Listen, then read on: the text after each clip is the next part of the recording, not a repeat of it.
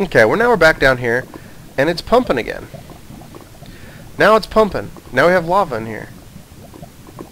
So when the chunks are loaded, this will transfer.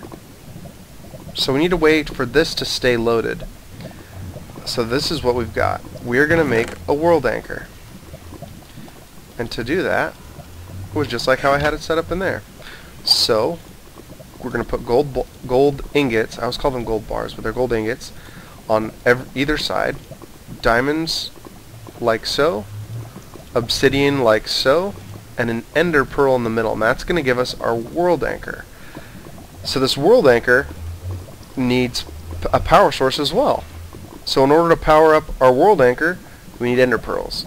So this world anchor will load a 9x9 chunk um, of blocks. So these machines will continue to power and operate when we're not in the nether. So we'll continue to get lava pumped into our ender tank, which in return is going to be pumped into the real world. So now we need to power this guy up. Each pearl gives you 12 hours. So if you if you don't have a large supply of these pearls, it's will be a little bit of a challenge, but 12 hours is a long time. So it's kind of a, a nice little thing. It costs one to make, but these chunks are now going to stay loaded and we'll be able to continuously have energy pumping out of the lava.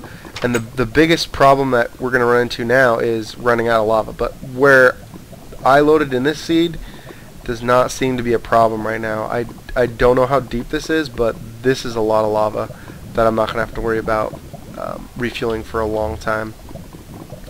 So that's a world anchor. That's it. Now these chunks are going to stay loaded.